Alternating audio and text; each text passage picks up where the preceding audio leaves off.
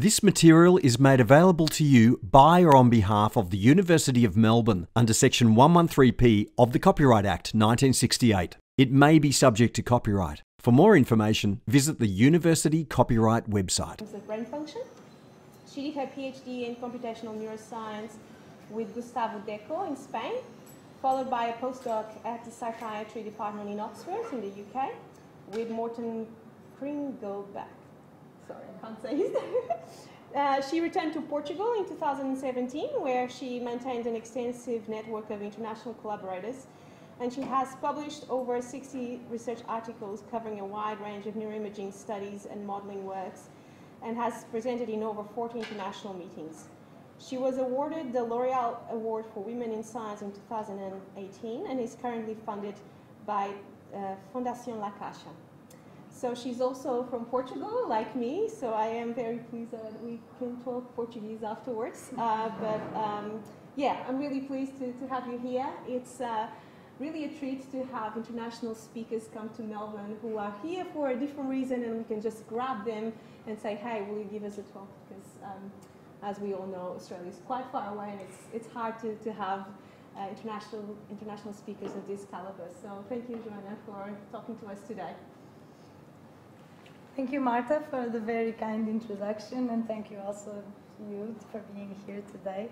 Um, I will share with you some of the insights I've been finding, also questions that arise together with the findings, uh, trying to understand indeed what brain function is. So overall, the outline of my talk will be separated in two parts. One is more about this function, evidence of functionally relevant modes in brain activities. What do they mean? Uh, and then what would be the their generative mechanism and this, this idea of resonance or resonant waves uh, really uh, thing that we can capture. So in terms of motivation, I like to put this big perspective. So on one side, when we want to understand brain function, we, I understand it as this nearly infinity of activity patterns that relate with cognition, emotion, behavior, but we don't really know what it is but what we know is that when function is disrupted, it leads to cognitive impairment, to psychiatric disorders, syndromes, disorders of consciousness. So this is a real problem that we need to tackle. So it's not just about finding, defining the hard or the soft problem of consciousness, but it's really a problem that if we can help and find solutions, can have a huge impact for humanity, right? And how do we tackle this? Well, we try to look at the brain as an organ, and I try to look it beyond only neurons as a system of neurons, but considering we have to have in mind that this has fluids and fields and astrocytes and ventricles in it. I won't go too much into that direction, but all these things will help us understand what are the, the fundamental principles, right? Mechanisms, what is called in engineering the constitutive equations, because only then we can really try to tackle this, this big problem. So first, let's take a look at brain activity and why I chose to, to, to, to show this video is that we, we generally look at uh, fMRI signals from the perspective of, I don't know, co-activation patterns, functional connectivity, very abstract things, but we rarely really see what the signal is. And so here are, this is pre-processed data I received from a collaborator, but from two different, two different subjects actually. And it looks super noisy, right? So these are different slices of the brain at the same time.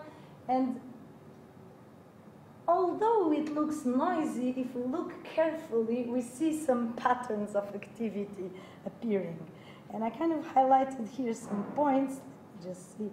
So here, for example, where we see that the signal here, you see here, this would be the posterior cingulate, the angular gyrus, and here the anterior like there's a pole here that activates, and if you look at a different time point, you see almost a negative representation of this pattern. Here would be the DMN, but there are others, just to highlight these things. So you see here after some time, you see a similar pattern appearing, and after some time, another, but again the negative of it. And if you look at other subjects, for example, this one, just to highlight a bit, there are some patterns that despite the noisiness and the, the chaos, so we feel like, no, this is not just noise, this is structured noise.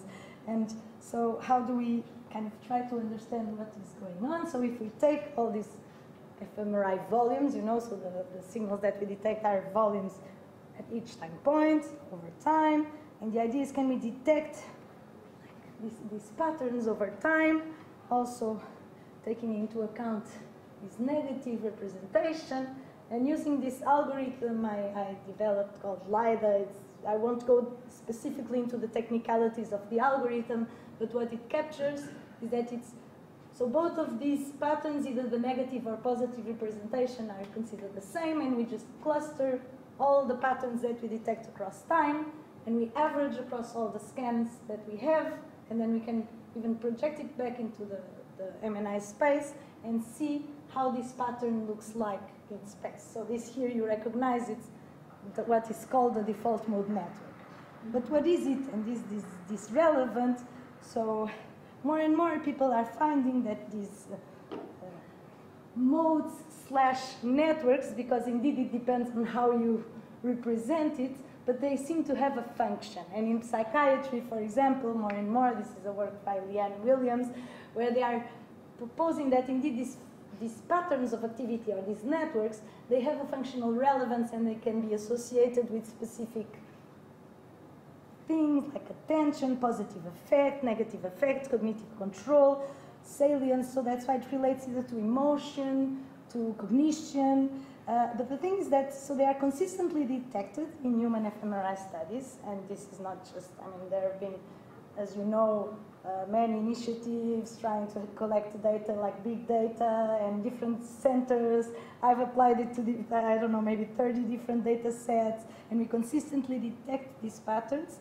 They are detected across mammals, and now it has been quietly uh, robust uh, that the modes we detect in rat brain activity are analogous to what we see in the, in the human brain.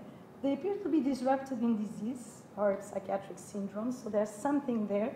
And they can be modulated by drugs, tasks, uh, also transcranial electric stimulation, also natural stimuli like music. So there's something in them even if they appear spontaneously, that relates to some function.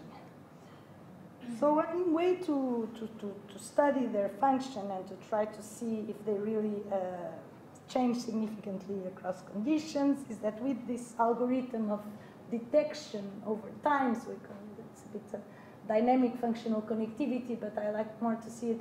So if this would be the fMRI signals over entire scan, we can see which are the time points during which this mode was dominant, right? This mode appeared stronger. And we can then, for each single scan, having these uh, different modes, uh, it depends, you can choose 5, 10, or whatever, but you can count how often, so what was the relative probability, which is also called the fractional occupancy of a, a given state during a scan. So you can say, okay, this scan there was 20% of DMN. And then you can use these single scan metrics to compare across conditions, right, to run statistics. So here is more the formalism of these, uh, these measures, what is the occupancy, we can really use the theory of dynamical systems to uh, uh, quantify this uh, probability of occurrence of these networks in a very formalized way, mathematical way. We can count also the dwell time, which is once a pattern is activated, how long you remaining there. Is there some functional relevance on remaining there.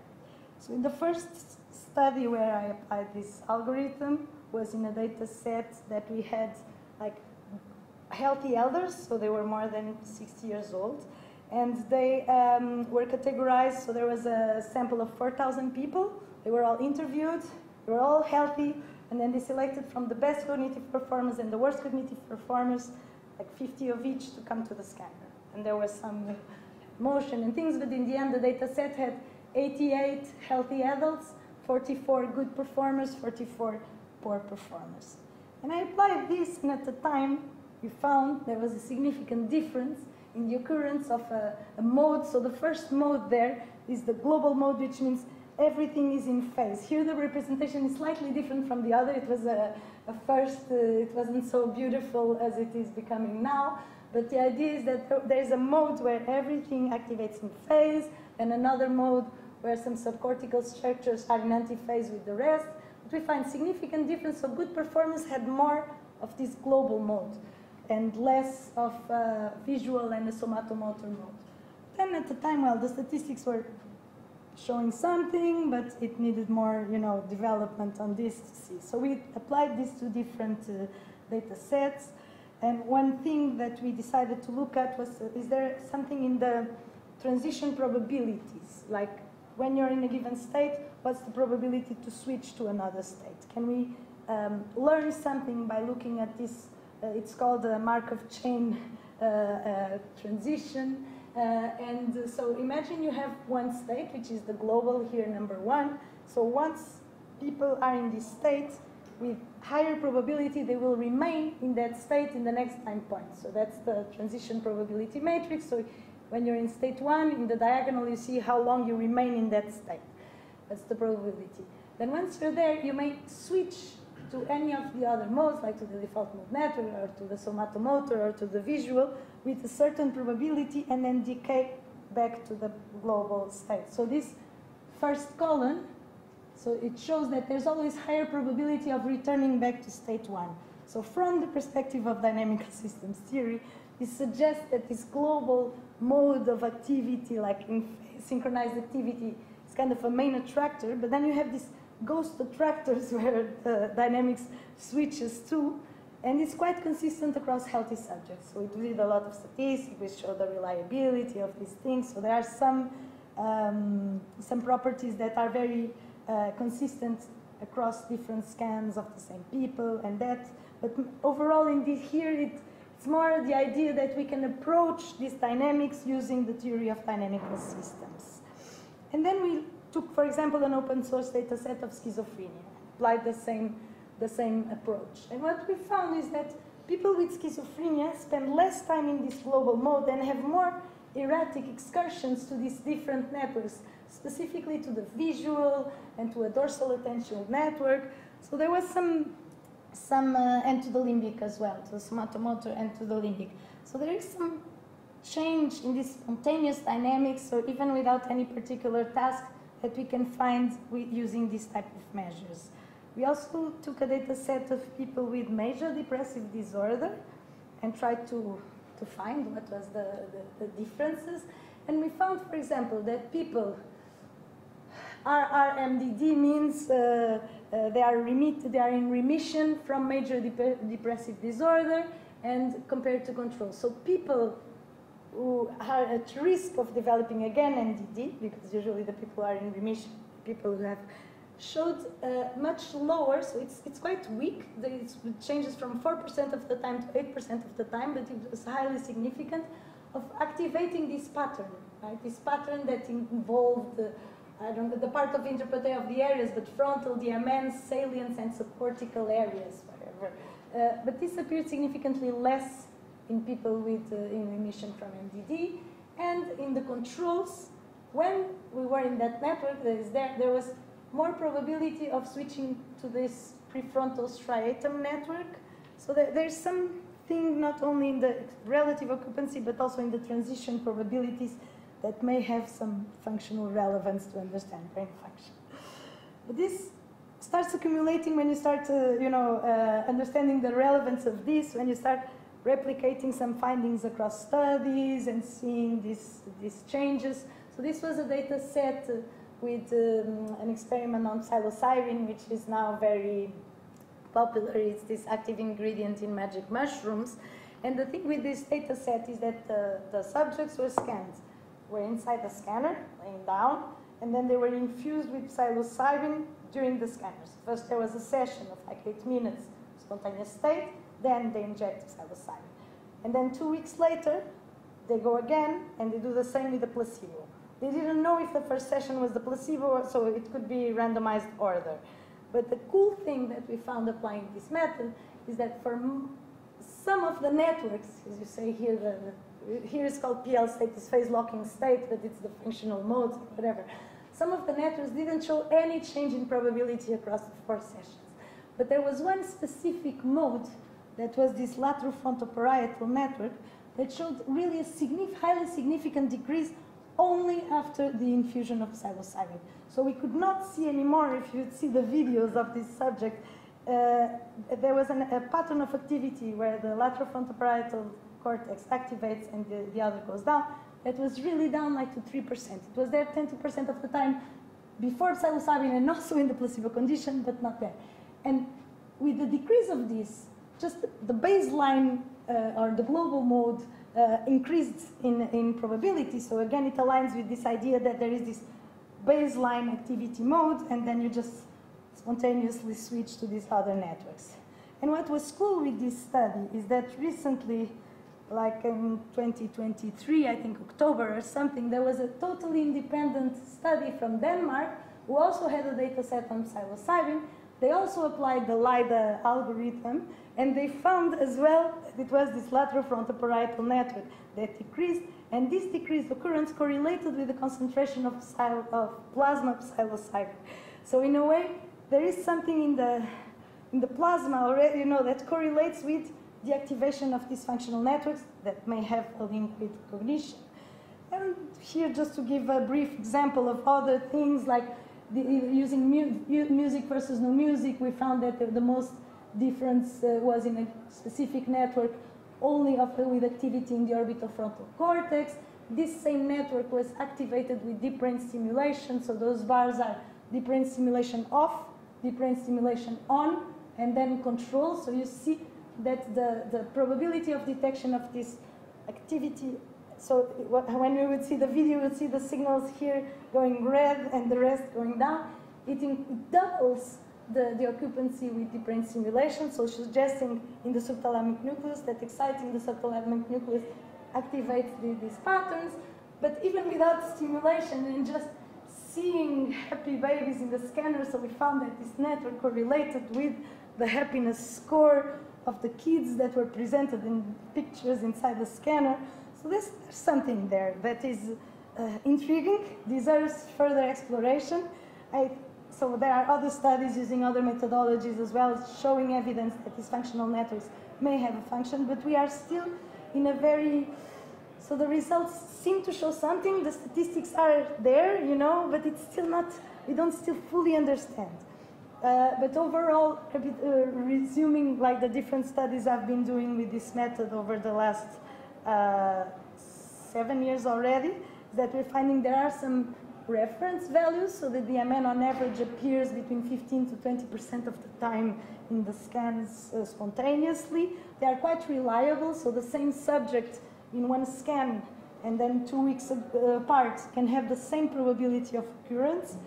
Uh, we can detect altered values in different types of psychopathologies in that sense, so major depressive disorder, schizophrenia, autism, cognitive decline, I don't know if it can be considered a neuropsychopathology, but also auditory hallucinations we published last year. We have another one now in preparation with OCD. Even relate with self-reflectiveness. So the occurrence of the default mode network correlates with the score of self-reflectiveness of a person. Does it relate to personality, right? Or when people are suffering from a relationship breakup, we also found significant alterations.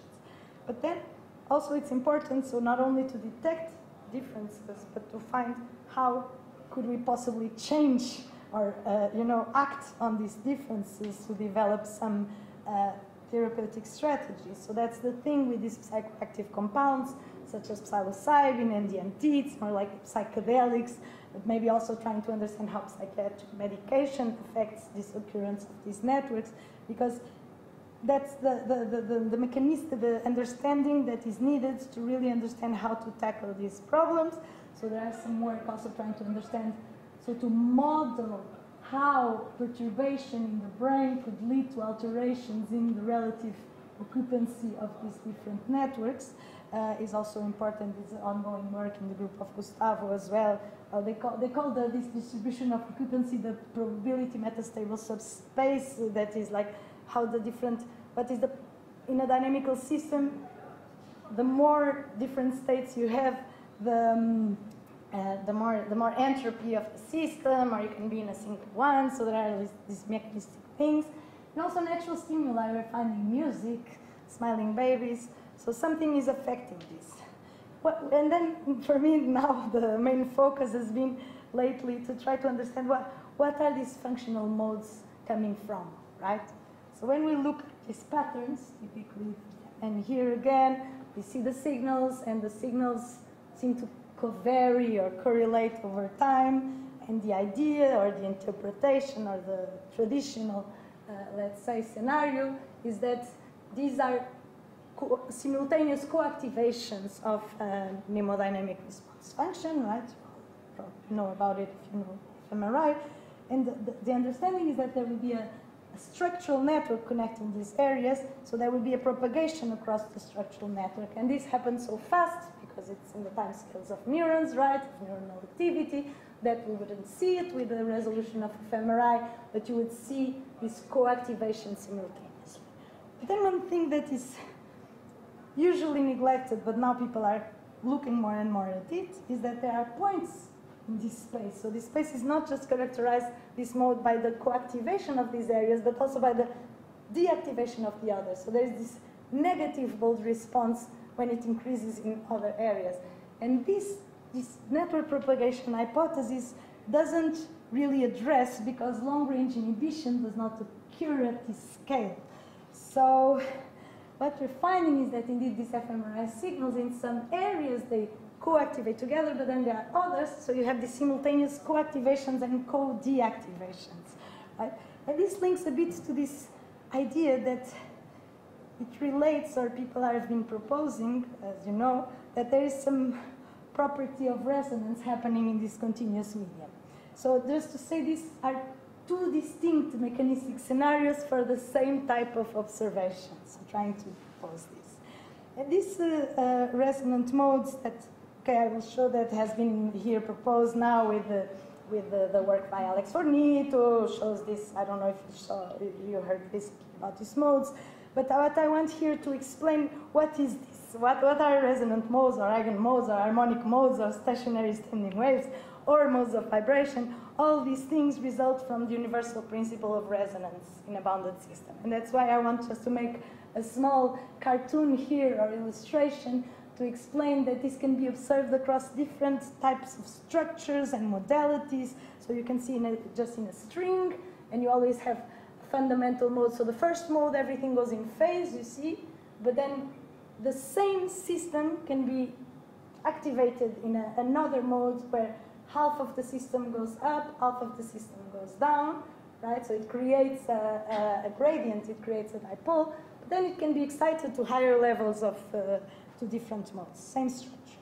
Uh, and this can be uh, can occur in a string, in a, in a membrane, in a 3D structure here with elastic boundaries. So they would uh, uh, take different shapes. This is there are really nice works even showing just a water drop levitating and being perturbed with different frequencies. And you see that it can be engaged in these different modes. But well, the brain doesn't change its shape like this, right?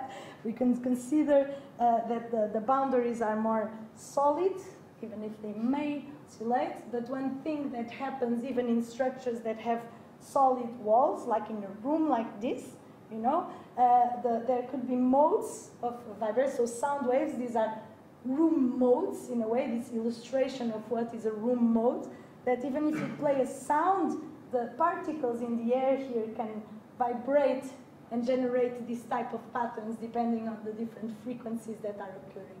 And these type of things can, can coexist in the same space, so that's why we can hear different sounds.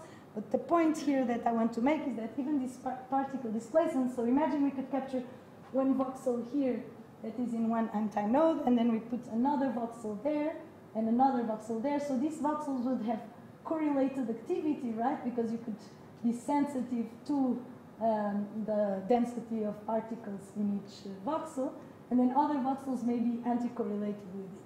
And for this, you don't need wires between distant parts of the, of the system, you just need this propagation across the, the medium. Now, another thing with the wave theory that is different from network theory is that the nodes in a wave, it's a different concept from the nodes in a network. The nodes in a standing wave are the points that do not move in time. So in a given mode, so you always have the fixed boundaries here, for example, but then in the middle you may have this, these nodes, which is where usually the, in the typical experiments to illustrate this, uh, they have these plates that they put sand and then they make it vibrate, and where the sand accumulates are in these nodes, is in these points of no motion. Then you have the points of high motion, where you don't see the, the sand accumulating, but actually the system is really vibrating a lot, and usually it vibrates with different, so these are called antinodes, and they co-vary in antiphase with their neighbors. So antinodes with same polarity are correlated. So this is the key uh, thing to explain how resonance in a continuous medium can drive long-range correlations and anti-correlations. So this is, um, just to say that, so this idea is not new. Here I put just an illustration for EEG, MEG, but this has been going on since the 70s to the, this proposal that eigenmodes uh, can explain what we actually the, the, the, wave patterns we see with EEG in the brain may be related to this uh, propagation. So it relates to these ideas of neural field theories that the signal is propagating through the, the field itself through a continuum. There have been, uh, so Selen Atasoy used the connectome structure and applied a thing called the graph Laplacian to, to predict what would be the modes uh, of activity of the, the network to, to, propose that this may be the origin of what we see in, uh, in real data, in empirical data, so what has so far. And then recently the group of Alex Fornito here at Monash University, instead of using the connectome uh, eigenmodes, they use the surface mesh eigenmodes and actually compared between this and this and found that the surface mesh eigenmodes were better predictors of what you actually get from the real data. And this is what, uh, here is a point that sometimes is not very clear in, uh, in the understanding of why this, these works um, are both uh, needed. So on one side, to determine, like if you have a, a, a system and you want to understand what would be the modes of resonance there, you can analytically try to predict using, using mathematical tools called the Laplace eigenfunctions or eigenvectors to predict what would be the modes of resonance of that system, right? So this would be one of them. Of course, there could be more. So, but this then needs to match what we are seeing empirically. So if you just video record this, like what we do in fMRI, we are recording the activity so one thing is to predict through the structure what would be the, the modes. The other is to record the activity, get the eigenvectors of covariance. This time you don't need to do the Laplacian, and see if one fits the other. That's what also they did in the, in the paper from Alex Fornito to see what. So I will now show what I've been doing. So I've been trying to detect these modes empirically, right? Not to predict them analytically. But the thing is that to confirm if what we are seeing is really uh, uh, are really uh, eigenmodes or eigenvectors, we need to see if they oscillate in time. And this is a critical thing that uh, uh, is a signature of resonance. So whenever we detect sustained periodicities or oscillations in a system, it is a signature that something is, is oscillating. But the problem is that fMRI signals are very, have very poor temporal resolution. So sometimes we can't go that far. So I collaborated with this uh, uh, um, Professor Dr. Noam Shemesh from Israel, who's working in Portugal at the Champalimaud Center for the Unknown, and he has a good 9.4 Tesla scan for rats uh, scans. And they have been showing, like there was this good paper last year in Nature Neuroscience, showing that we can really detect functional networks also in rats. So they are consistent. They do the consortium with three, three, 30 different labs, a bit like we do with the Human Connectome project and that. And so, yeah, that we detect them, they're consistent, and they also have this red and blue pattern. You see, like whenever it activates in some places, it deactivates in others. But again, this is slow. So I asked him, can, how fast can we go, really? How fast? So we went into the scanner room, you turn off the alarms, you know, like, because this uh, animal scanners are different from the humans that really blocked the sequences that are approved. And so you can really play around. It was, you know, controlling the temperature, and we reached uh, 38 milliseconds time resolution, which is unprecedented for fMRI because we focused on a single slice of the rat brain. And one thing that is, uh, for the people who understand, usually in the, in the fMRI scanner, when we do volumes, we, we acquire one slice at a time. So it does like, right? And you do like a 100 slices in each TR. And here the idea is, okay, let's not change slice. Let's try to keep always the same slice and see how fast we, we can go and if we detect meaningful signals. Because we actually had scans at 24 milliseconds, but you look at them and they're just noise, full of artifacts. But this one I will show you showed really nice um, things. So we focus on a slice of the rat that is known to reveal dysfunctional networks, and we tried like three different conditions. So first they are just sedated with medetomidine, which is a sedative, because the rats you cannot just tell them to rest, right? You cannot, uh, well, there are some scans on awake rats, but actually it induces them stress, and here they are really relaxed. And then we, added, we did two 10-minute scans, but in each 10-minute scan we have 16,000 frames. It's really a lot of time points. We add a bit of isoflurane, we wait a bit, scan again, add more isoflurane, wait a bit, scan again. And then we also did two postmortem scans just to have some validation.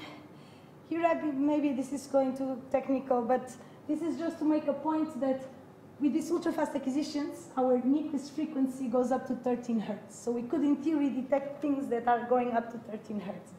But if we look at the power spectrum up to 13 hertz, these are all the voxels. We see some, some voxels have activity, uh, for example, here. Some voxels have activity there. You See those yellow peaks mean that some of the voxels have a peak. If we look in the slice, where are the voxels that show the peak at 5 hertz?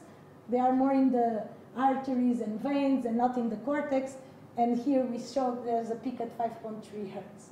And there are some yellow blobs there. There are two times the heartbeat at 10.6. This one, this straight line, like all the voxels have power 7.6. It's scanner noise because it also appeared in the post-mortem animal, right? There's the breathing frequency, so some voxels are activating here, two times the breathing, so it's an harmonic.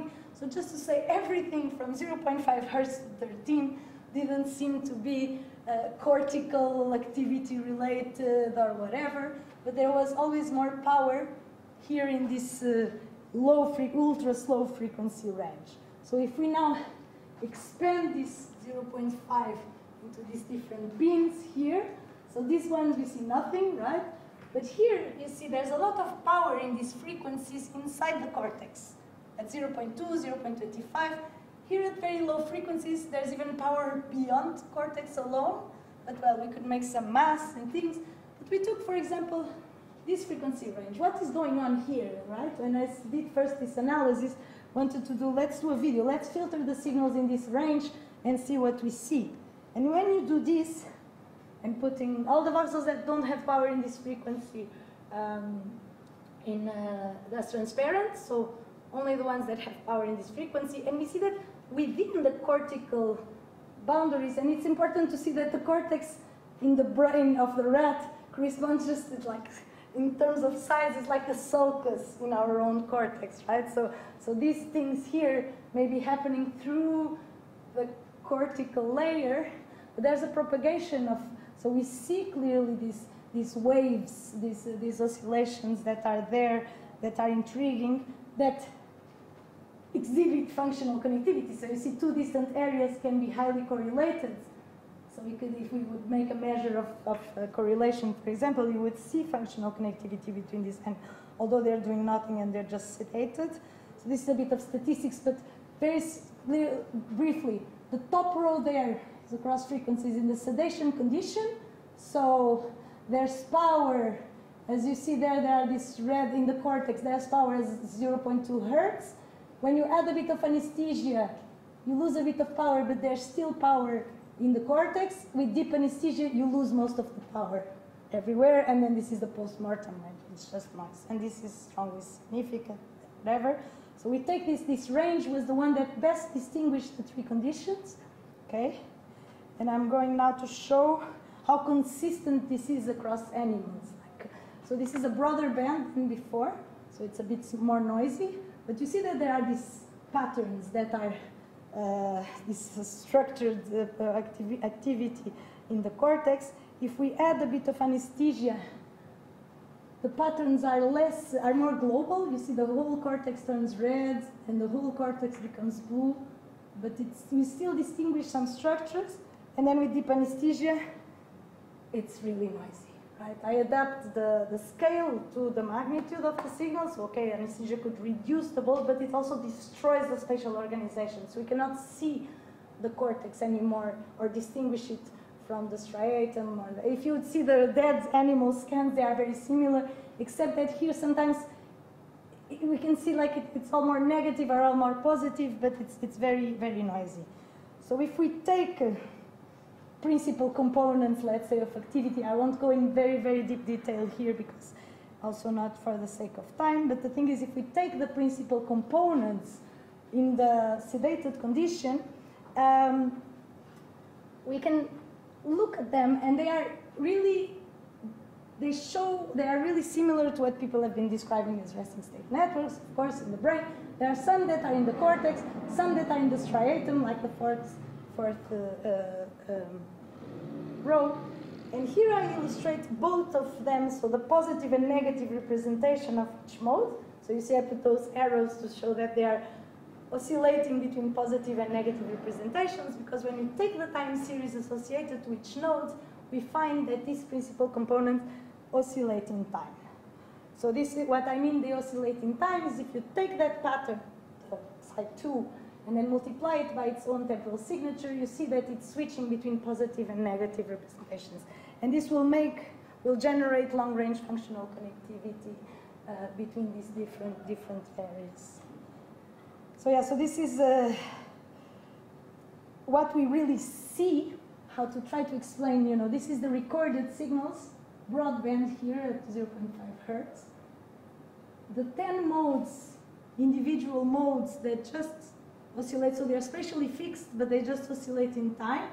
If you sum these together, so you take each of these small animations and add them up, it's a sum function there of these 10 modes, you see that you recover this, uh, most of this spatial organization. The, seems that we have traveling waves in different directions. There seem to be very complex patterns of dynamic functional connectivity, but that can be explained by a very reduced basis of oscillatory modes. And then this is to show that this, is, this propagates across the cortex. So I was just showing one slice, but if we do multi-slice acquisitions, we see that the, the, these things propagate across the, the cortical sheet, let's say.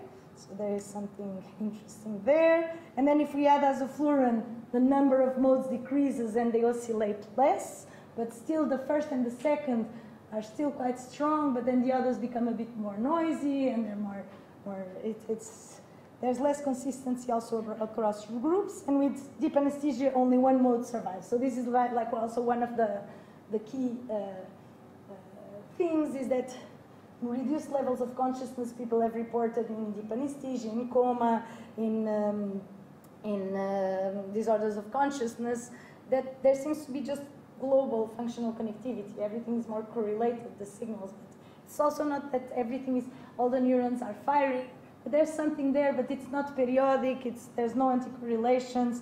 So this relates to that, this fundamental mode of activity being there. Well, these are just measures that you can use then to compare the resonance across systems. But the idea is that in medetomidine, these modes resonate longer, right? So as if you have more notes that you play with during, during sedation, and with isoflurane, they are like overdamped, and the, it's like the system changes its properties and it doesn't resonate anymore. And then this is, I'm, I'm more from computational neuroscience, so the idea is, can we forget like this dogma of coupled neurons trying to generate this uh, activity that we see at the macro scale and just consider that we have these waves like the notes or the membranes of uh, you know a drum and assume that brain activity as a whole can be reconstructed just by you know playing these different uh, these different notes so we simulate what would be a fake activity, and we show that it reproduces long-range functional connectivity, like just a long-range correlation, seed-based correlation activity. But yeah, so just to sum up, I'm now at 50 minutes. Uh, I would like to, so the, the whole story of this work that I've been doing and trying to put everything into perspective is that I've been seeing these patterns appearing in humans and now trying to go and take animal models who are actually not doing anything, they're just in the spontaneous state, and they still reveal these, these patterns of activity. So it, it, we think that indeed this, this could represent intrinsic basis functions, we don't know, that maybe during rest they're just being spontaneously activated by noise. They're part of this, it's, it's as if you, some people say it's as if you throw a piano down the stairs or as if you just let a musical instrument being played by the wind. Um, it may still play sounds, but they are not integrating any type of consciousness but, or cognition or behavior, but it may be, so what we're seeing in the resting state may be a signature of this. Well, uh, so overall, I think it's very important to understand what is the origin of these intrinsic brain modes, okay? Uh, because maybe this will help us tackle the missing link between structure, brain activity, and brain function. Sometimes brain activity is confused with brain function, and here I'm in this thing that, yeah, if we see this type of activity patterns, even if there's no function associated with it, so it's important to tackle this, these three things separately. Uh, and so these results, how they link with the work by Fornito and that is that this, they provide evidence, empirical evidence, supporting the hypothesis that intrinsic functional networks are associated with these standing waves uh, associated with the universal principle of resonance. But then how these modes are orchestrated together is still unclear. And well, I just want also to call that, uh, to make an announcement that I'm co-organizing the conference on brain modes in Bilbao 2024, and it will be really from physics to function, you know, like focusing on what is the origin of these modes, and uh, acknowledge well, my, my lab in University of Minho, which is more with psychiatrists, and uh, so I'm a bit independent uh, investigator in that lab, Uh, where we discuss a lot about the function of these, these, these modes, and the Shemesh lab in Lisbon, which is the MRI technical guys, right, who know psychiatrists, biomedical engineers, and I find myself a bit there in the middle, and thank you all for listening.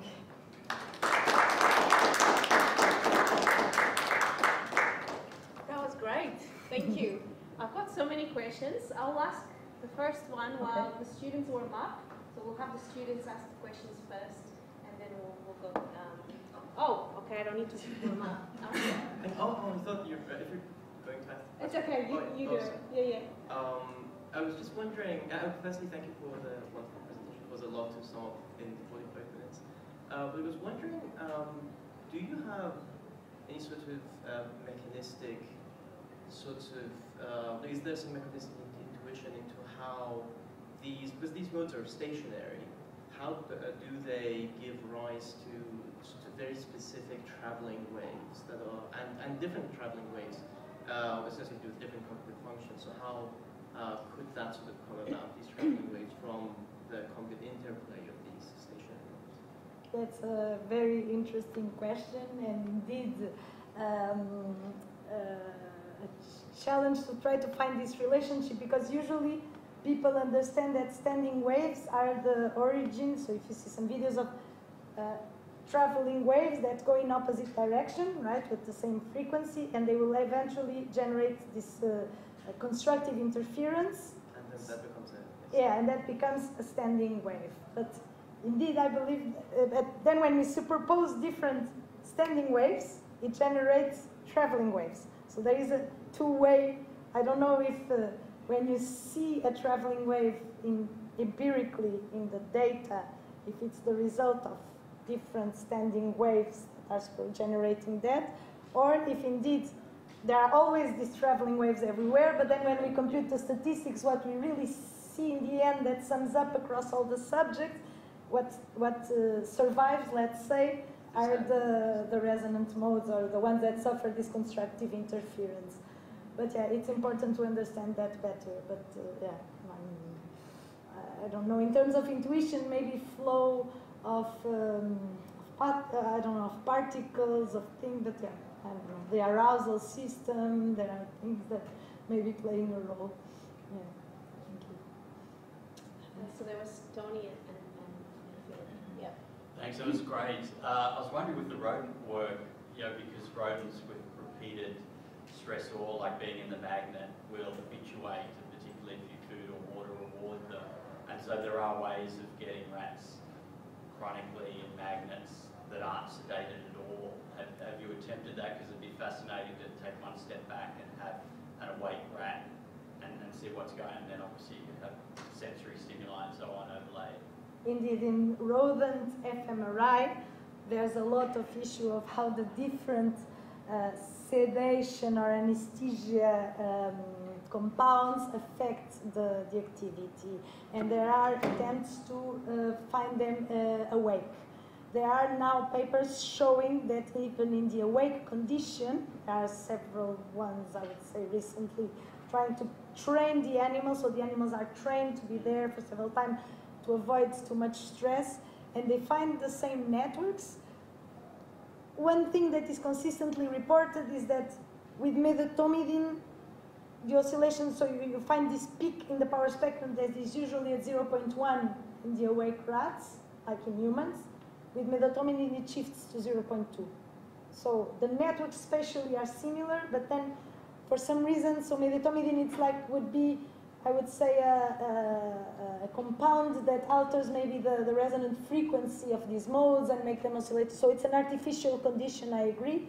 During wakefulness, not only the peak frequency changes, but they are more uh, what is called critically damped. That is, a mode activates and then deactivates again. It's not this consistent repetition, right? But if they are spatially analogous, it should be everything should be signatures of the same phenomenon, just with different properties. But indeed, the awake condition is now uh, becoming more and more important. Philip? A little speculative, but we're among friends here. Um, so you've stressed the importance of waves as the principal component of brain dynamics. Would it be correct in inferring then that the right sort of computational formalism to understand the brain behaviour link is Schrödinger equation and the right sort of representation for doing that is quantum probability? Uh, a lot of work has been done by lots of people, including myself, using diffusion equations, and there is uh, a well-developed theory linking brain behaviours with the diffusion theory uh, and the diffusion equation.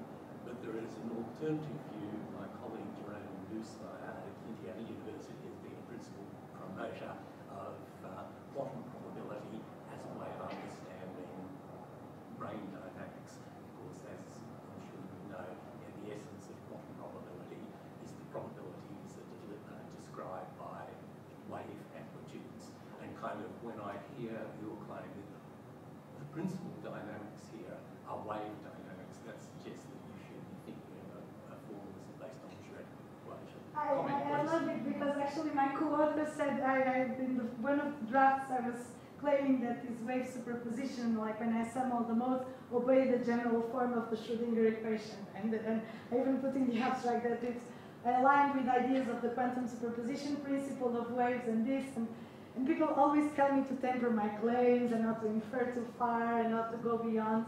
But uh, I would love indeed. I, I think. I think the answer is yes. Yes, and I. Because it, it does mean that there is a, a quite interesting connection between the ideas that you were developing here and the kind of quantum probability Mm, exactly, and in, in, in the Schrödinger equation, there is one particular yep. condition where you do separate, so space and time, right? You yep. can have yep. spatially defined modes, and what is independent is the, the time these modes are, are vibrating, indeed. It, it, it, makes me die, die, uh, think, even if, yeah, the Schrödinger would explain everything, inside our brains we have our own mini system that is obeying to, the, to, those, to those rules but then how these rules then interact with the neuronal activity underneath or how it relates with computation. Well, the interesting question is that it gives you a story to link, to, to link brain yeah. stuff to probabilities, which mm -hmm. is how we describe behaviour yeah. you know, in probabilistic terms. So at least, you know, as a the right sort of properties. It describes waves in the brain and probabilities in behaviour. Yes, yes, yes, and that's that's probably that's what we're, we're approaching this missing link. Like this is a bit empirical evidence supporting those uh, those hypo- theoretical hypotheses. Yes, I'm glad you like the idea. Nice. Great minds thinking alike, right? Um, hi, great talk. I was just wondering whether they oscillate at the same frequency. Your, your, I don't think uh, maybe I missed it. Um, Yeah, yeah, yeah. Actually, uh, yes, I would. I thought I did a lot of and trying to understand. The, so in terms of peak frequency, it's similar. One thing I notice is the ones that are cortical, like you see, one, two, three, are all cortical modes, and they all have the same peak frequency there at 0.2. But then the striatum, the mode number four, and here eight and nine seem to be harmonics of the striatum. They seem to peak at lower frequencies. So, but but there wasn't one frequency for each mode. I, I didn't find that. I don't know if it's. Uh, uh, but also usually in assist the harmonics all resonate at the fundamental frequencies. So if uh, all repres- I don't know. Yeah, but there there should be a second peak maybe that we should detect on the harmonics where you should see the double of the frequency, but I didn't see that. And if I can just like put another question about the of the mode you're observing now, is there any logic to that? I mean, are they regions that are actually connected structurally, or are you able to infer anything, or not yet?